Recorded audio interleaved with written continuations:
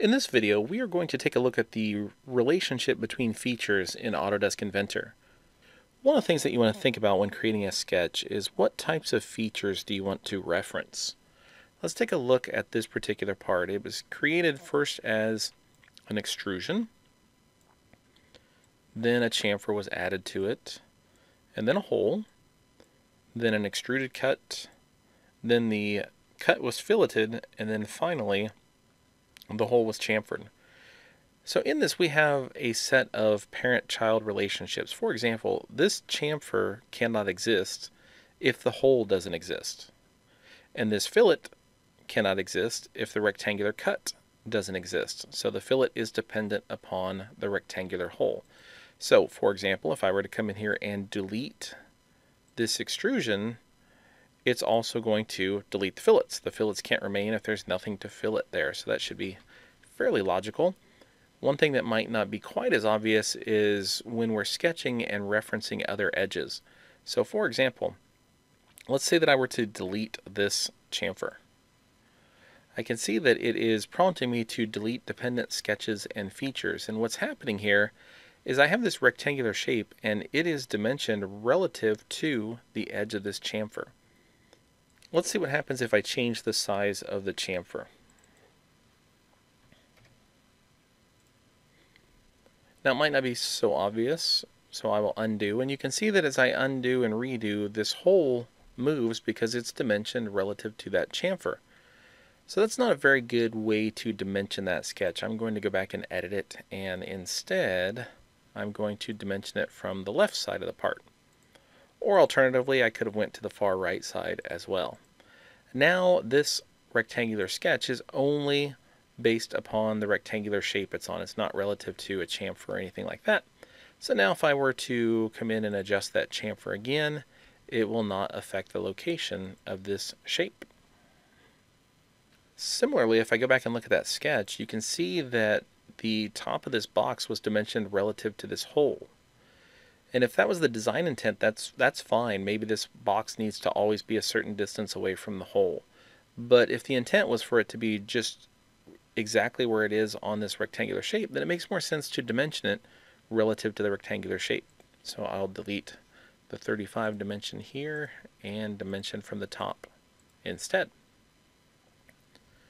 So now if this hole changes, the rectangular shape is not going to be affected. It will continue to stay in the same spot. I'm going to back up here to the beginning before I made any of these changes. So we can look at one more thing. So let's take a look at what happens when I delete a feature that has some child relationships attached to it. So I am going to go in here and delete this chamfer. Now I do have the option to clear the check so that it does not delete dependent sketches and features. Let's see what happens when I do that. So I click OK. These features are still here, but if you look at my model browser, it has some little symbols here to indicate that there's a problem with those sketches. If I right click and edit the sketch, anytime you see a pink line, that is a reference that doesn't exist anymore. So I would need to come in here and delete this pink reference and go ahead and create an appropriate dimension instead.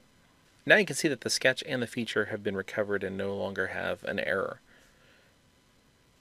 We'll take a look at another part here and some of the relationships involved with it. So on this particular part, an extrusion was created. Then an extrusion was added on top of that. So most likely it was sketched upon this top surface. And then we have a hole that has cut through the part. If I look at the sketch for the hole, for the cut, you can see that it was created on top of that top surface here.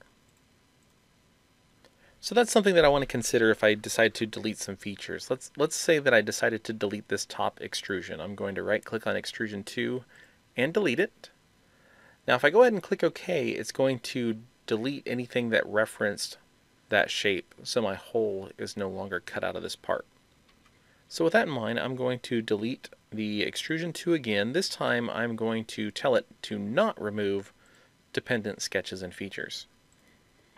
When I click OK, you can see that the hole is still there.